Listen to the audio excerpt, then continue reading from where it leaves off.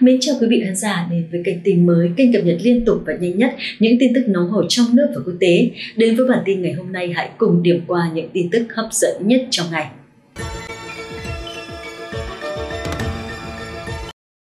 Bão Chaba, cơn bão đầu tiên đổ bộ vào đất nước Trung Quốc vào năm 2022 và mạnh lên thành một cơn bão nhiệt đới nghiêm trọng. Bản tin mạng thời tiết Trung Quốc, Đài quan sát khí tượng Trung ương tiếp tục đưa ra cảnh báo bão màu vàng vào lúc 6 giờ sáng nay. Cơn bão số 3 năm nay, Chaba đã mạnh lên từ một cơn bão nhiệt đới thành một cơn bão nhiệt đới nghiêm trọng vào đêm hôm qua. Tâm của nó nằm ở phía đông bắc thành phố Tam Sa, đảo Tây Sa, thuộc tỉnh Hải Nam vào lúc 5 giờ sáng ngày hôm nay. Khu vực giữa Biển Đông khoảng 250 km ở vị trí 17,9 độ Vĩ Bắc và 114,4 độ Kinh Đông. Sức gió cực đại vùng gần tâm là 10 đến 25 m trên giây. Áp suất thấp nhất ở vùng tâm là 980 HPA và bán kính của vòng tròn gió cấp 7 là 180 đến 200 km. Dự kiến Chaba sẽ di chuyển theo hướng Tây Bắc với tốc độ 15 đến 20 km/h, cường độ mạnh dần lên sẽ đổ bộ vào bờ biển phía đông đảo Hải Nam đến phía Tây Quảng Đông từ chiều đến đêm mai theo Đài quan sát khí tượng Trung ương, tâm bão số 3 năm nay Chaba, cấp bão nhiệt đới cách thành phố Tam Sa, đảo Tây Sa thuộc tỉnh Hải Nam khoảng 325 km về phía đông đông nam vào lúc 8 giờ hôm nay. Dự kiến Chaba sẽ di chuyển lên phía bắc với tốc độ 10 đến 15 km/h và cường độ sẽ tăng dần. Một khi cơn bão Chaba đổ bộ, nó sẽ trở thành cơn bão đầu tiên của đất nước tôi trong năm nay và thời gian đổ bộ sẽ muộn hơn khoảng một tuần so với mức trung bình hàng năm. Qua tìm kiếm các cơn bão lịch sử, người ta thấy rằng đường đi của bão số 7 Kamuri trong năm 2019 tương tự như bão Chaba. Khi đó, Kamuri đã đổ bộ vào Văn Xương, Hải Nam, Trạm Giang, Quảng Đông và Phương Thành Cương, Quảng Tây với cấp bão nhiệt đới với nhiều đường đổ bộ, đường đi quanh co, tốc độ di chuyển chậm. Bị ảnh hưởng bởi điều này, gió và mưa mạnh đã xảy ra ở miền Nam Trung Quốc sự xuất hiện của bão Chaba cũng sẽ gây ra mưa và gió mạnh ở miền Nam Trung Quốc. Đài quan sát khí tượng Trung ương dự báo hôm nay đến ngày 4 tháng 7 sẽ có mưa vừa đến mưa to ở Nam Trung Quốc, Vân Nam, Trung và Nam Quý Châu. Có nơi mưa to đến rất to ở một số khu vực với lượng mưa tích lũy từ 40 đến 80 mm có thể đạt 120 đến 180 mm ở miền Trung và miền Nam, trong đó cục bộ có thể đạt 400 mm ở phía Bắc đảo Hải Nam, vùng ven biển miền Trung và Tây Quảng Đông và vùng ven biển phía Nam Quảng Tây. Lượng mưa tối đa hàng giờ tại hầu hết các khu vực nêu trên là 50 đến 70 mm các khu vực cục bộ có thể kèm theo mưa đối lưu mạnh như rông và gió giật mạnh. Ngoài ra, sẽ có gió mạnh cấp 6 đến 7 ở hầu hết Biển Đông, Vịnh Bắc Kinh, quần đảo Trung Quốc và các vùng biển gần quần đảo Tây Sa, eo biển Luzon, bờ biển Quảng Đông và bờ biển Hải Nam. Khoảng gió trên vùng biển cục bộ có thể lên cấp 9, 10, giật cấp 11, 12.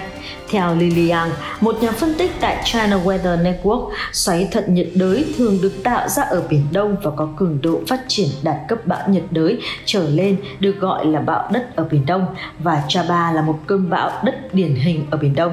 Cường độ và quy mô của các xoáy thuận nhiệt đới trên Biển Đông nhìn chung nhỏ hơn và yếu hơn so với các xoáy thuận ở Tây Bắc Thái Bình Dương và hầu hết chúng không có đặc điểm bão điển hình trên ảnh mây vệ tinh. Thông thường xoáy thuận nhiệt đới trên Biển Đông thường được hình thành ở khu vực ngoài khơi.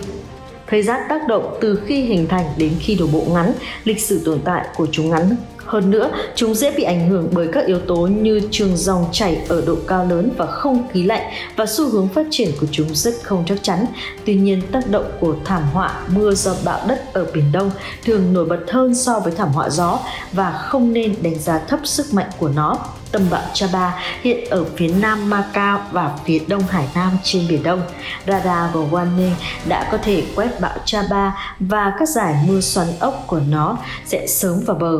đối lưu phía Tây Bắc rất yếu, vẫn đang nỗ lực xây dựng tường mắt ở phía Bắc. Nếu thi công thành công tường mắt và mở mắt cao tầng thì sức mạnh của Chaba sẽ được cải thiện đáng kể và tuyến đầu sẽ ảnh hưởng đến Quảng Đông vào chiều nay. Trên radar có thể nhìn thấy rõ ràng vạch tiêu cự trước TC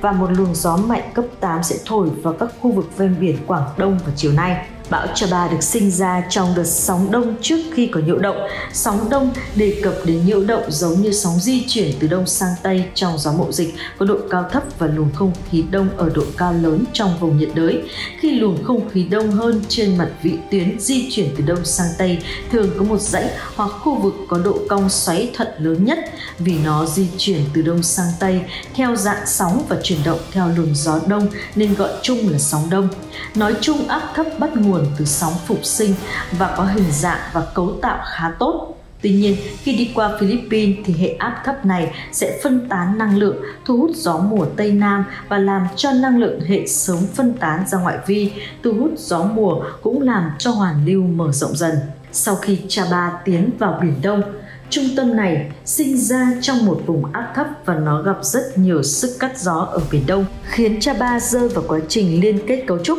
vì vậy nó đã gặp khó khăn trong quá trình Biển Đông trước đó. Tuy nhiên, sau khi cơn bão Chaba thoát khỏi môi trường cắt gió mạnh, trung tâm không còn tiếp xúc nữa và bắt đầu tích hợp và củng cố, tốc độ tăng cường vượt quá mong đợi của cơ quan. Hệ thống hiện đang được tích hợp tốt trong cấu trúc riêng của nó và vùng mây dày đặt trung tâm cũng đã được thiết lập, mặc dù nó không phải là mắt dưới thực tế nhưng nó cũng có nghĩa là sự phát triển của hệ thống đã bắt đầu đi đúng hướng ngay khi hệ thống còn lòng lẻo trong giai đoạn đầu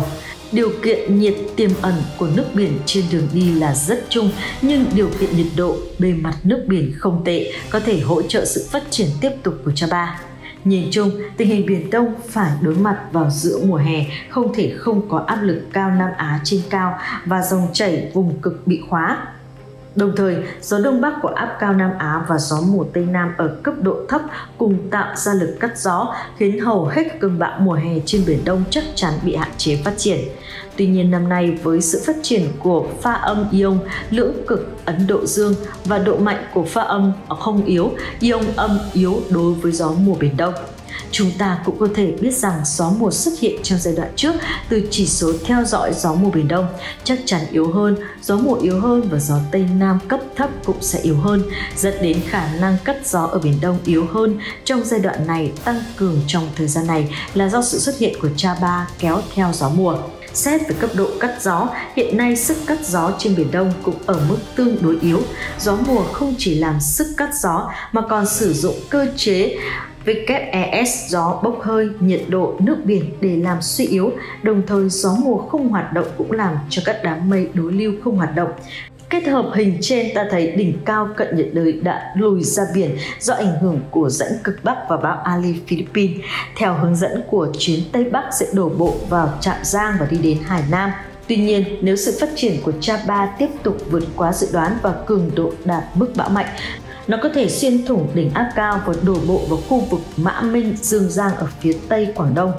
Do hoàn lưu lớn của cơn bão này và sự hỗ trợ liên tục của hơi nước từ gió mùa Tây Nam sau khi đổ bộ vào đất liền, bão Chaba có thể ở lại Quảng Tây và các nơi khác dưới dạng áp thấp nhiệt đới, kéo theo mưa lớn liên tục cho khu vực Quảng Đông và Quảng Tây vào thời điểm nước trên thuyền rồng liên tục bão hòa với lượng mưa và trong đợt bão hiện tại, lượng mưa có thể là một yếu tố gây ra thảm họa khác. Đặc biệt là ở các vùng của Quảng Tây, thậm chí còn đưa ra lượng mưa quá trình là 700 đến 800 mm.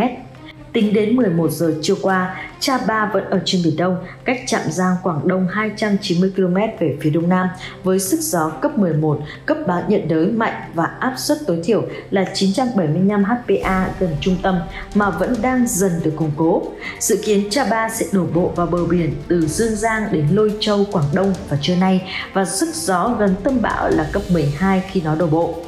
Gió Chaba không mạnh lắm nhưng hệ thống mây hoàn lưu của nó rất lớn và sau khi đổ bộ nó có thể ở lại ngã ba Quảng Đông và Quảng Tây và lượng mưa tích lũy ở một số khu vực có thể phá vỡ kỷ lục lịch sử. Người dân ở Quảng Tây, Tây Quảng Đông và Hải Nam cần chú ý đến ảnh hưởng của mưa lớn liên tục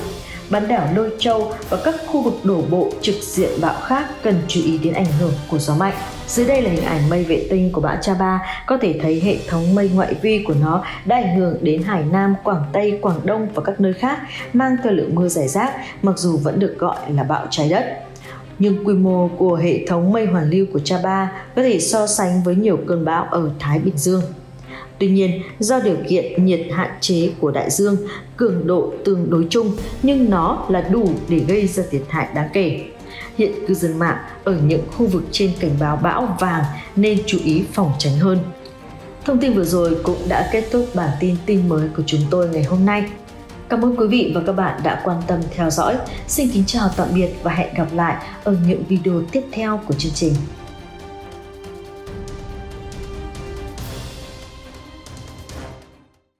Vâng thưa quý vị, bản tin hôm nay tới đây là kết thúc. Chân thành cảm ơn quý vị và các bạn đã quan tâm theo dõi bản tin của chúng tôi. Chúc quý vị và gia đình luôn mạnh khỏe, hạnh phúc. Nếu thấy hay thì hãy đăng ký kênh, sau đó nhấn biểu tượng chuông ở góc phải màn hình để không bỏ lỡ những tin tức mới nhất mà chúng tôi sẽ cập nhật. Còn bây giờ xin chào và hẹn gặp lại.